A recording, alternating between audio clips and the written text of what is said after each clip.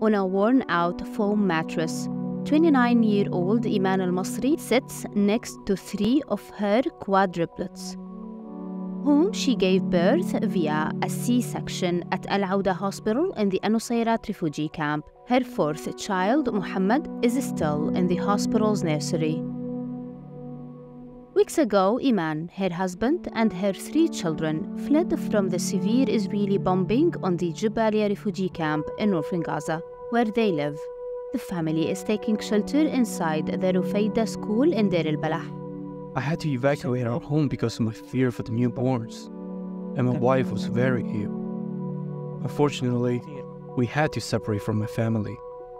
My father stayed at home when I was displaced. I cannot bear being separated from my father and leaving him there after we were displaced.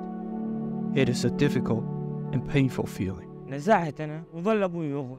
I suffered a lot during my pregnancy due to displacement from place to place and moving on the roads in dangerous situations. This caused me great fatigue and led to premature birth in the eighth month by cesarean section and one of the children remaining in the nursery for care. In the midst of war, Iman al-Masri did not have enough time to recover from the C-section due to overcrowding in hospitals. She was forced to leave, leaving behind her newborn Muhammad, who needs medical supervision. The fighting also has had a major impact on 30-year-old Sabrine Abuwarda and her 15-day-old daughter. After her birth, the doctors performed an operation on her esophagus. However, since then, there has been no improvement in the child's condition due to a lack of medicines and doctors' follow-up.